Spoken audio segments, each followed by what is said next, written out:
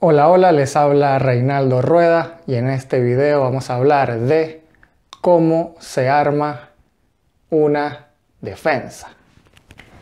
¿Ok? Una defensa. Ah, Nicolás Díaz.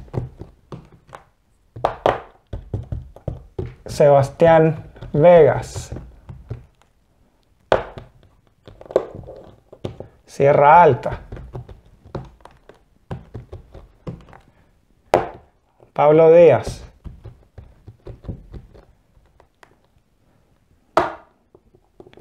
Ah, salida.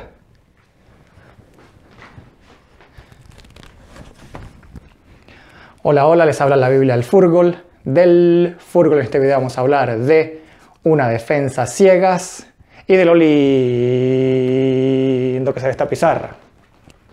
Como siempre les recuerdo que voy acá sin pauta, sin edición, sin teleprompter, grabando todo desde mi celular y hablo así un poco lento para poder conectar una idea con la siguiente sin hacer largas pausas o quedarme en blanco. A algunos de ustedes les gusta ver el video en velocidad 1.25 y así pareciese que hablo un poco más normal. Oh, ¿qué pasó acá? Por acá como que, como que anduvo rueda, tratando de armar una defensa. ¿Qué pasó acá? Esa es una de la banca. Ese como que es, ese como que es Nicolás Díaz, uno de la banca. Entonces, ¿cómo jugó Chile? ¿Cómo jugó Chile? Jugó con el arquero Arias, Nicolás Díaz, Vegas, Sierra Alta en el centro. Sierra Alta, lo más, me parece que el mejor jugador de la defensa. Pablo Díaz, Juan Salida, Vidal al menos sí jugó en su posición. Baeza, Charles Aranguis, Sánchez y a Eduardo Vargas. Entonces, ¿qué sucedió? Sucedió que teníamos acá a Nicolás Díaz, teníamos a Vegas, teníamos a Sierra Alta, teníamos a Pablo Díaz. Ok. Entonces, ¿por qué no jugó Rocco ¿Por qué no jugó Rocco y Vegas acá? Al principio yo pensé que Nicolás Díaz iba a jugar allí porque Nicolás Díaz en su equipo, en su club, él juega en una línea de 5 y él es el cuarto hombre acá. Y pensábamos que Vegas iba a jugar allá, fue en salida acá, y Pablo Díaz allí. Pero eso no ocurrió, lo que ocurrió fue esto. Entonces, ¿qué sucedió? Nicolás Díaz pudo haber jugado. Pudo haber jugado acá, como mencioné. Pero no fue así.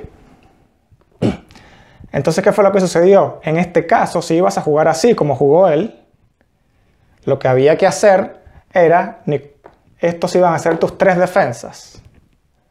Estos iban a ser tus tres defensas. Uno, dos. Bueno, por acá era un poco más flexible, ¿ok? Pero vamos a decir que Pablo Díaz. Y Sebastián Vegas podía ser el lateral, pero viniendo desde acá. Si lo querías colocar allí por alguna razón, ok, y no el lateral derechamente, está bien. Pero para el ataque, déjalo que suba él y no Nicolás Díaz, que estuvo perdido en la cancha todo el primer tiempo y casi todo el segundo tiempo que jugó también. Y por acá, bueno, ya tenías doble proyección. ¿Ok? Por eso fue uno de los errores. Aunque lo principal quizás no fue derechamente haber ah, empezado con la posición correcta. Ahora, ¿de dónde viene el penal? El penal viene porque todas las jugadas, todos los ataques eran por este sector y hubo un desgaste. ¿Ok? Las pelotas que pasaban por Nicolás Díaz simplemente no pasaban. Hubo un desgaste, se perdió el balón, pero no sé si acá el portero Arias pudo haber cortado o pudo haber hecho algo más, salir en lugar de quedarse en el arco. No, no estoy muy seguro. ¿Ok? Y luego, bueno, por tanto desgaste, digamos, fue que vino el gol. Lo de la mano, ya, eso no lo vamos a discutir mucho. Ahora, el gol. El gol lo hace cuando Sánchez, cuando Alexis Sánchez estaba momentáneamente por posición de partida jugando de, de partido jugando de 9. ¿Ok? Ya hemos dicho reiteradas ocasiones que el 9 con rueda, el 9 con rueda tiene que ser su mejor delantero. En este caso es Alexis Sánchez. Entonces acá se comprueba un poco esa recomendación. ¿Ok? Aunque eh, habría que seguir probando a Eduardo Vargas porque él nunca lo probó. Él probó a Zagal y a Junior Fernández.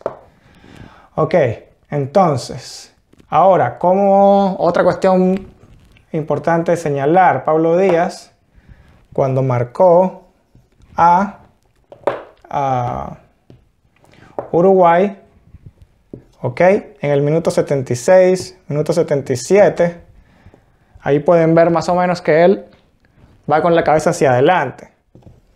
Creo que fue Pablo Díaz, por si le quieren echar una mirada, que fue más o menos como dijimos que se marcaba a Luis Suárez.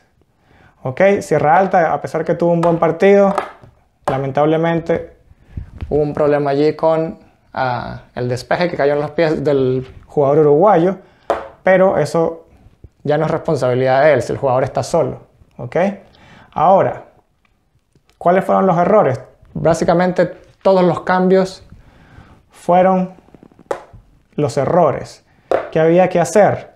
Sí, había que sacar a Fuensalida, pero si ya en el segundo tiempo las jugadas estaban pasando por el centro del campo, había que meter a Reyes y quizás soltar a Baeza un poco más y el partido defensivamente no daba para cinco defensores. Ya el partido estaba más o menos dominado con cuatro y quizás Reyes hubiese podido pasar a esa posición o dejar a Sierra Alta y que Reyes pasase a cubrir otra posición o simplemente un doble mediocampo defensivo. El otro cambio, ¿cuál fue? El de Rocco. Ok, fue un cambio que se tuvo que haber hecho mucho antes, en el primer tiempo incluso, porque Nicolás Díaz estuvo desaparecido. Ok, así que la verdad es que no hay mucho que decir. Fue un partido que eh, se pudo haber sacado un mejor resultado ah, con los jugadores que tenían que estaban disponibles. Se pudo haber hecho un partido mucho mejor. Eh, la alineación, ok, los jugadores que entraron a la cancha quizás estuvo bien, a excepción de Nicolás Díaz y Arias, pero la ubicación, la forma en que él distribuyó a esos jugadores, básicamente fue el mayor problema. La verdad es que no tengo idea de dónde sacó Rueda que esa defensa le podría funcionar, especialmente la conexión entre defensa y ataque por el lado de Nicolás Díaz. Ok, Nicolás Díaz no jugó mal, simplemente jugó en la posición incorrecta. Además, si le das la oportunidad a un jugador y ves que no lo está haciendo bien, no, hay no veo cuál es el problema en sacarlo en el primer tiempo, hacer una modificación en el primer tiempo, si lo tienes que hacer, o simplemente darle instrucción del cambio de posición. Ok, de Uruguay no vamos a analizar mucho, ah, porque básicamente estamos tratando de corregir lo que pasa por la selección y uh, Rueda en verdad iba bien con la convocatoria, más o menos, con los jugadores que, que, llamó a la cancha y todo, pero uh, la distribución realmente fue pésima, estuvo cerca de, lograr el empate, pero no pudo. Uh, eso ha sido todo por este video. Uh, si les gustó, le pueden dar a like, me gusta, manito para arriba, lo pueden compartir, así más personas pueden ver este video. No olviden suscribirse, así les llega una notificación y no se pierden no se pierdan un próximo video. No les recuerdo que tenemos en la descripción tres enlaces donde nos pueden hacer donaciones. flow.cl, uh, gofundme.com y Patreon. Y se despide de ustedes la Biblia del Fútbol. Del Fútbol.